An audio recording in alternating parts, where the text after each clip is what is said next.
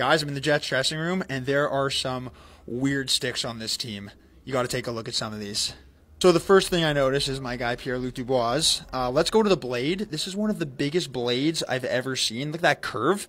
Uh, that's what I would use in gym class when I was in grade six. Okay, Nate Schmidt, what kind of knob is that? That is an excuse for a knob if I've ever seen one. Okay, this is actually the worst knob I've ever seen. There isn't even a knob, it's just a little tape holding in the extension at the end. And then one over, you have something kind of similar, just with a little more tape. Looks like a hockey puck at the end of the stick. And here's one I don't think I've ever seen before. There's like two different layers of the top knob. And finally, this has got to be the single ugliest knob I've ever seen in my life. What is that? At least cover the wooden part. This one belongs to Coach Wolf. That is ugly.